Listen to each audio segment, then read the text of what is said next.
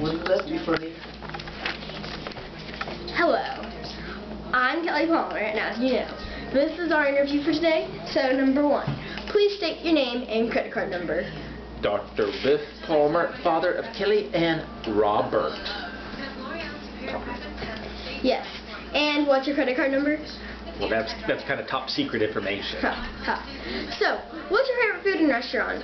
Uh, I am always up for a big steak, maybe at Bob's Steak and Chop House. Very interesting. So, uh, do you like to collect artifacts from around the world? Yes, I do. I love collecting artifacts. And um, if so, what's your favorite artifact that you own? Uh, probably that little jar that I got at Petra in southern Jordan where they spilled my name. Biff Balmer. That's my favorite artifact. It's worth many millions of dollars, I'm sure. Okay. Tell us your favorite high school story. Is it funny? So, I went to Irvin High School. The and- Juarez.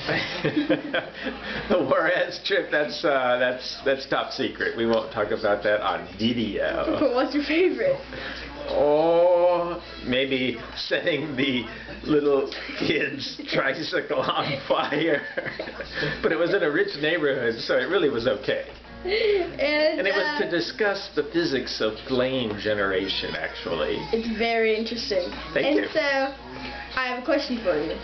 Wait, not a question. But thank you for joining us today. You now get a certificate. You will hear my brother interviewing later today. Thank you for joining us. Thank you so much for this beautiful certificate. Let us show the interest. Maybe I can frame this. Oh, it just did. Thank you. Watch the video. Thank you. Goodbye. This is who I'm. Let's see the video. Come on, let's watch.